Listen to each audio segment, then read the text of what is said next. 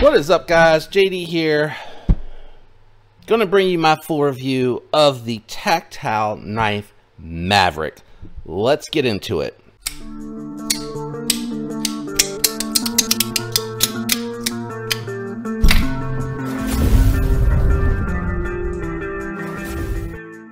Right, so before we jump into my thoughts and impressions, let's go ahead and do some quick size comparisons because this is a larger offering than the Rockwall, if you're familiar with that knife. So I'm going to go ahead and start out with the Benchmade Bug Out, which is going to be a knife that I think a lot of people are going to think of when they see this Richard Rogers design. And I hope that I'm saying that right. I forgot to bring the box with me to help me remember the name of the designer.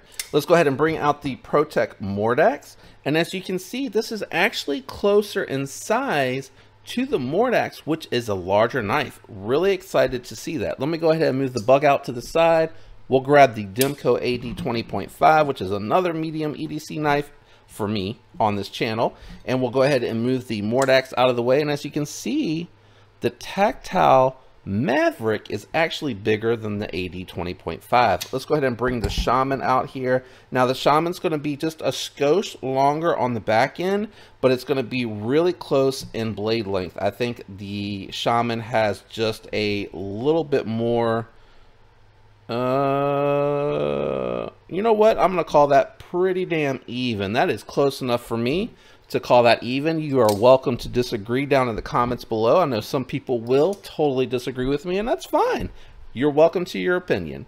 Here is the CJRB Echo, which is another medium-sized knife in my EDC rotation. As you can see, the Maverick is actually larger. Here is the Civivi Praxis, which is a larger EDC for the budget realm. And as you can see, really close in size, just a little bit shorter in length but not by much. So this is definitely a full-size knife.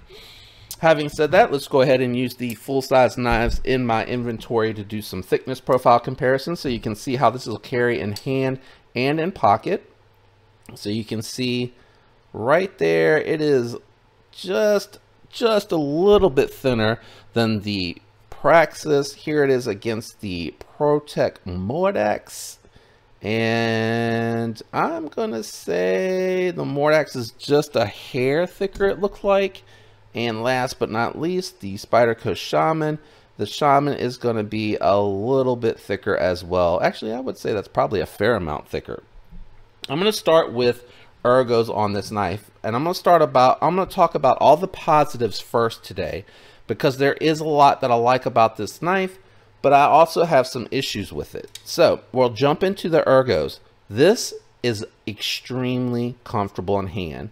It is a little bit thinner in profile here than what you saw on like the Shaman, but it feels very nice and very comfortable. The contouring on it does help it feel thick in the hand enough to where you have a grip, but it doesn't feel like a thick knife. As you could see, the Mordax and the Shaman were actually thicker than this. So I really like the size, the overall size of the knife, and I love how that feels in hand because the contouring helps again make it feel like it has something there so it's not so skinny that you're just sitting on flat scales it kind of helps round out the grip a little bit on there so I really do appreciate that a lot the milling on here is absolutely beautiful and it adds texturing so that you have something to grip onto. I love that they carried that milling line right on through the pivot bolt and the pivot collar here on this side. I like that a lot. Going to jump into the pocket clip because we're talking about ergos, but we'll come back to my thoughts on the looks of that. It is very comfortable because it does ramp at a good angle and it doesn't feel intrusive or invasive. It does not create a hot spot. So the ergos on this knife for me are outstanding. Let's talk about while we're here, the crossbar lock. Now I wish that they would have gone with a little bit more of a grippier, less rounded access style lock. I am going to bring the bug out back out here because this is the type of lock that I wish they would have gone with. One that you can disassemble and separate with Torx screws.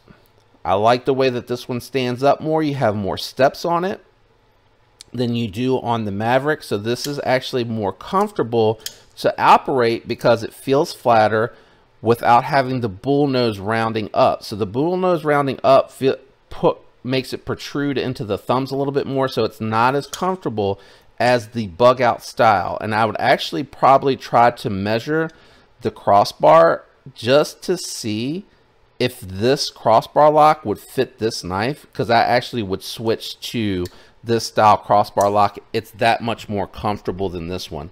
Now, having said that, it's not awful. It's just not great. I would say it's okay at the worst. Thumb studs on here, same thing. Not a huge fan of these thumb studs. I prefer the thumb studs that are on the bug out. The bug out again having more steps on it, not bull nosed.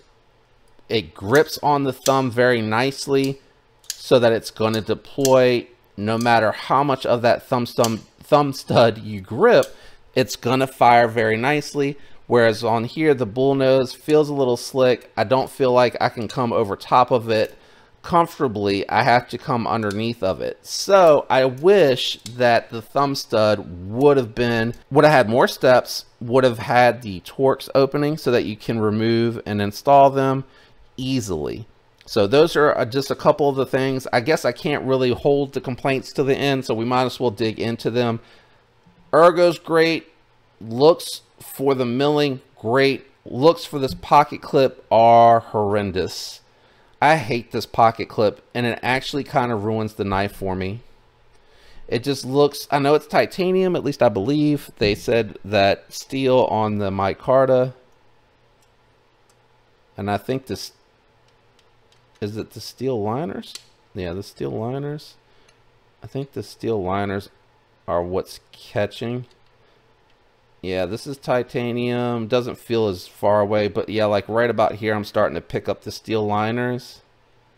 It doesn't feel like it does when you put it there. Like it's not as pronounced. So I, I, I believe that it is titanium. Um, I just hate the look of it. It looks like a money clip. It looks like they legit took the money clip. And this is the same issue I had with the Rockwall. I just, I don't understand why they just don't do a flat milled titanium pocket clip maybe even make it round see how these match the lines on the relative it's a fantastic design beautiful milling and the pocket clip does not take away from the knife at all. If, if, anything, I think it complements the lines of the knife. Such a fantastic design. This just kills it for me. It absolutely kills it for me. I mean, you could have just done a straight titanium two hole over top of each other, or you could do, could have done like Vero um, something that kind of rounds and matches the lines and mounts from the opposite side. Like totally could have done Chicago cruise, uh, screw style, anything like that. It just absolutely kills it for me. Uh, Magna Cut blade has a beautiful finish on it. Nice stone washing on there. I believe it's very minimal, but it is there. 63 to 64 heat treat on Magna Cut steel. Really, really nice. Let's take a quick gander on the, I gotta turn it upside down, guys. Blade stock. We're gonna do right in front of the pocket, I mean the pocket clip, the thumb studs, so that we can see where the thickest part in the cutting path is gonna be. So let's call it uh, 2.46 that feels good. And then we're gonna at the thickest part and the thinnest part today because I'm always usually just doing the middle. So I'm trying to find the thumb stud so I can find where to stick this on here on the knife so thickness yep 55 thousandths behind the edge on the part closest to the studs and then uh, on the tip coming in yeah 55 so consistent 55 throughout that's great. Nothing wrong with that at all. Uh, last complaint. Mine came to me. I think it's uh, it's focusing on the fingers. Sorry. I hate to do this from underneath because of the blade. With just a hint, ever so slight hint of side to side play. I don't even know if I can get that to show on camera. It's so slight. I have to kind of come out on the edge. You see it? It's so slight. I'm I'm wrenching as hard as I can. Not as hard as I can. I'm wrenching really hard, um, as comfortable as I feel that I can holding the tip of a knife. Hopefully that makes sense. I worry about uh, cutting myself. Let's see here. There you go. You had it for a second. What happened? Let's do this. Will you focus here? Will you focus there? There you go. Maybe I can get it to show up there. But it's just a hint. Uh, it's no worse than my bug out. And that's just the way that it is with washer knives. Washer knives, if you want to get that drop shut action, it's just something that you have to accept with a washer knife. You're going to get side to side play if you want any type of smooth, almost fall shut action. The last thing that I'm going to complain about is my knife out of the factory came with scratches out towards the tip on both sides of the knife. Really bad right here. Um, but as you can see, let me find the lighting that I'll let you see this. I think it's right there. You can see all kinds of scratch marks towards the tip on a brand new knife that I picked up from River's Edge Cutlery. This is definitely where they were sharpening the edge and I'm not quite sure what happened but when they're getting to the tip there they're getting really close and the edge itself even though it's really clean and it looks really well done just disappointed to see those scratches. Now I have reached out to Tactile Knife. I did send pictures. Oh before I forget I've tried my best to center this knife and as you can see there's more gap on the pocket clip side than there are on the show side scale so this thing favors the show side and I've tried taking it and disassembling or loosening the screws and just adjusting it real quick cannot get it to center up at all no matter how much I tighten or loosen the knife outside of those issues though I like the knife. I think a different pocket clip would definitely improve the aesthetics.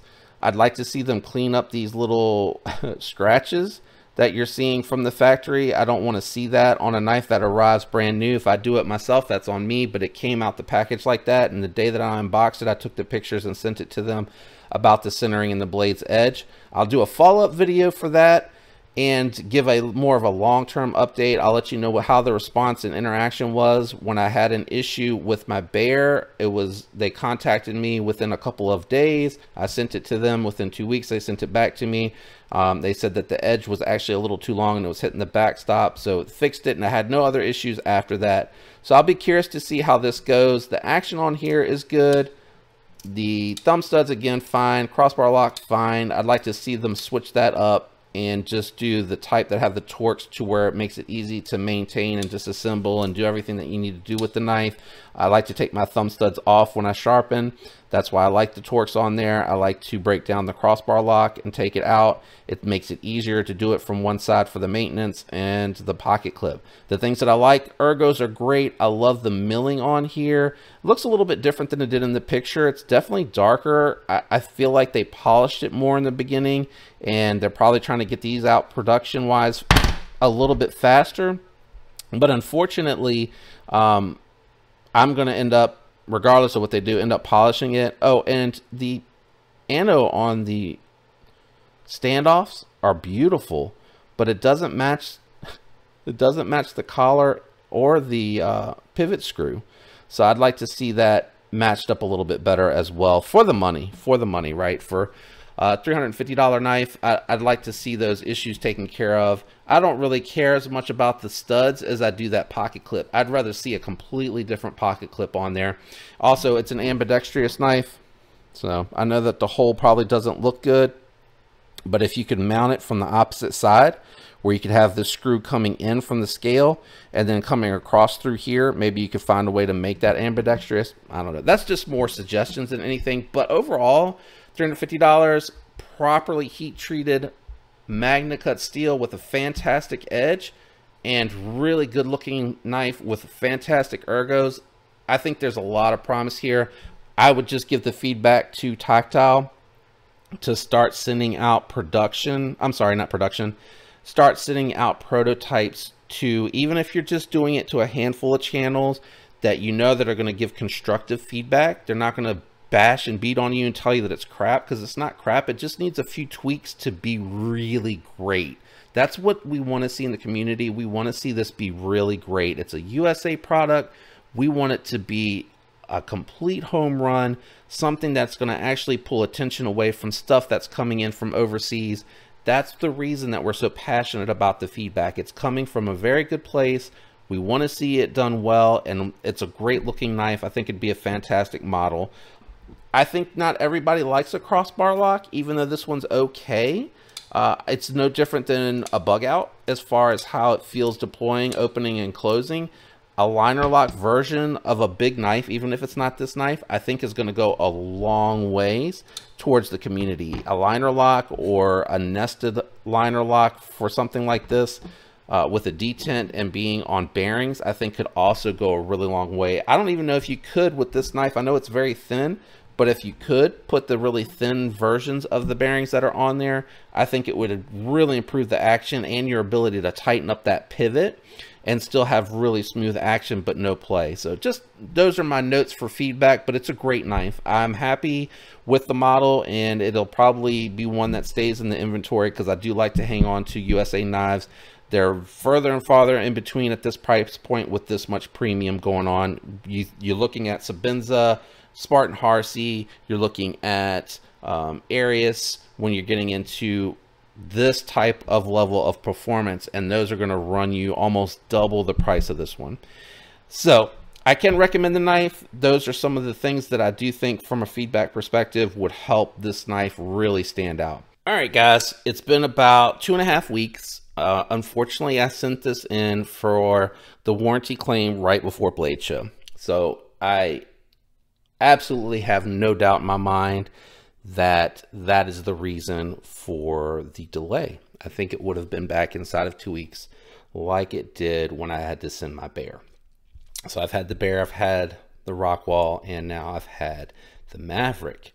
And I think I've kind of hit on everything as far as the knife is concerned. At least I hope I did in the review. Um, I probably should have checked that video, so I apologize. I should have checked the first half of this video before I got to this one. So I'll just talk a little bit about the knife since I've gotten it back. So they did fix all of the issues. The blade looks phenomenal. The edge on it looks really good, looks very similar. I have cut with it. I haven't tested it since I've cut with it, but yeah, no issues whatsoever.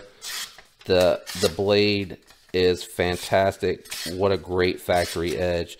Um, they continue just to just improve and I know that there's been some folks out there, and I know that there's probably some people that are going to watch this that'll sound off about their experience with Tactile. And um, I think they're a young company.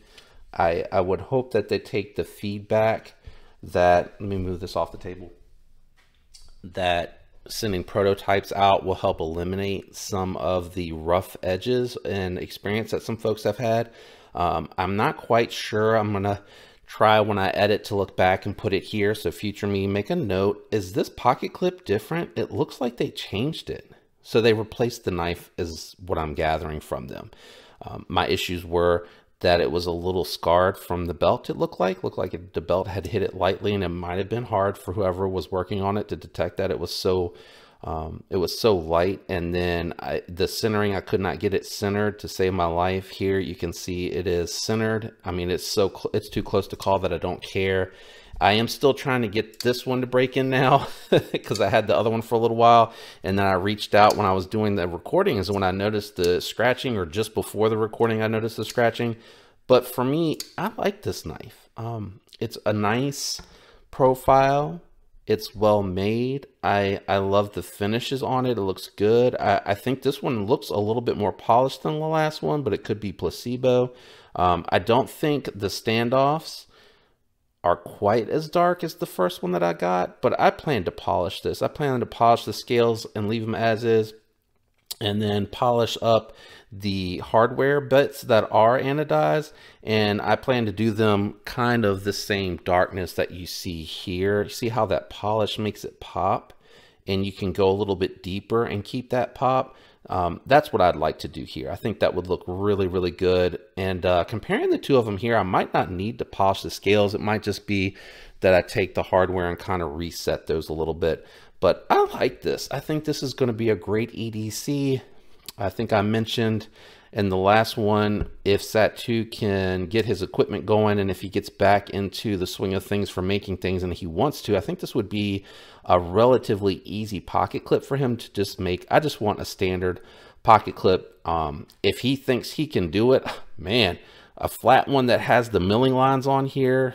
I mean, that's all I really want. These spacers and washers and everything like that look kind of weird. Um, you know, I even say that about this one if they would have been able to make it. But, you know, if he wants to do something with it, you know, knock it down. And so, you know, this is what I would have liked to have seen on there. I would have loved to been able to reverse the screws into it, but this screw goes into the standoff. So unless we can find a Chicago screw that would be able to catch the underside, um, and have one that goes in reverse there. I, I, just think it might be too much work. So, I, you know, I would defer to Dave on how to do that. And then again, the thumb studs, you know, they're okay. They're fine. They're not my favorite, but they're not the worst in the world. They're definitely not a Sebenza for sure. So really good warranty experience again. Life came back and now I am very happy. Blade play, blade play. I think yeah, I think I'm going to leave the unboxing on there because hopefully you can see there is almost no blade play. And, you know, I'm giving it a good amount of pressure, but I'm not trying to wrench on it to the point where I'm almost starting to bend it. It is not fall shut yet. Uh, I probably will when I disassemble to do the hardware, just clean everything up, polish these washers as well, and then put my own lube on there. And I think that'll help get it there. So it's starting to work in, but it's not quite there yet. With the knife in this condition, it is an easy recommendation. I like it. If you do not like crossbar locks, don't get this knife. You're going to be disappointed no matter what. I can tell you that this has stronger Omega springs, that it has good resistance, but if you're looking for a detent, you're going to get mad when you go to do this and there's not enough resistance for it to pop out. With Omega Springs, you have to ride it a little ways and you have to intentionally flick it out. You're not going to be able to take a washer knife on an Omega, I'm sorry, with a back uh, spring lock or crossbar lock. Sorry, I'm mixing that all up. You're not going to be able to do that with that. It is the same with any washer knife. You can't expect the detent to hold that in there enough because there's resistance, there's friction. You have to with force open oops, and close these. I'm so used to closing that one because it hasn't broken in. This one's starting to break in to where I don't have the blade play and it's closing more smoothly while remaining centered. There's a break-in period with washers and I think people just don't realize that because you get a bearing knife and when you do that, I mean, there's no effort in closing it. Um, so that's where I'm at with this one. Easy to make a recommendation if you don't hate crossbar locks. You know they're going to break in. If you're used to Phosphor Bronze washer, just keep that in mind. That's my follow-up and the complete review for this because it'll be attached to where I started this review. So I'm very happy with the warranty process and the communication from Tactile and they back their products, which is all anyone can ask for. Hope you enjoyed this one. Shout out and thanks to everyone out there that leaves the likes, comments, and is subscribed. I love you guys. I hope you have a fantastic week. And until next time, peace.